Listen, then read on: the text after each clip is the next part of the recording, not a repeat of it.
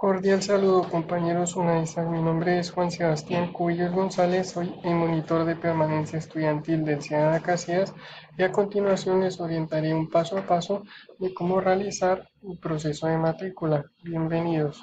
Ingresamos a la página de la universidad www.unad.edu.co, ingresamos a nuestro campus,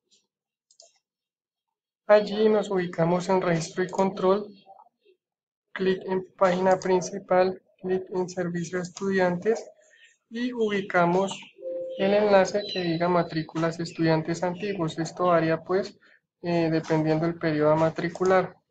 Una vez le damos clic aparece aquí un pantallazo, le damos aceptar, diligenciar liquidación y allí se nos presenta un formato el cual debemos refrescar algunos datos como departamento de nacimiento, ciudad de nacimiento, departamento de residencia, ciudad de residencia, eh, teléfono alterno y confirmación de correo electrónico. Le damos clic en continuar y aquí se nos muestra un mensaje que se nos ha enviado un correo eh, con el enlace para continuar el proceso de liquidación. Revisamos nuestro correo, efectivamente acá está el enlace para continuación del proceso, le damos clic y allí se nos referencian las diferentes materias disponibles para matricular.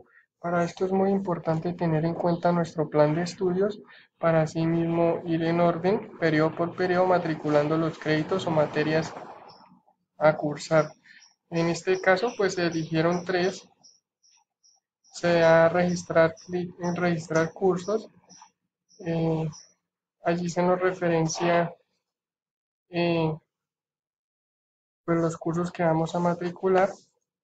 Le damos generar recibo de pago y inmediatamente nos despliega un pantallazo en donde está el recibo al cual se le puede dar la opción aquí de imprimir recibo o como también guardarlo en formato PDF.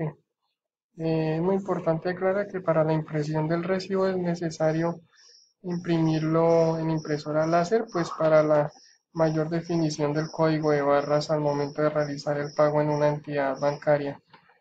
Eh, espero haya quedado muy claro eh, el proceso de matrícula de, cursos o de créditos académicos.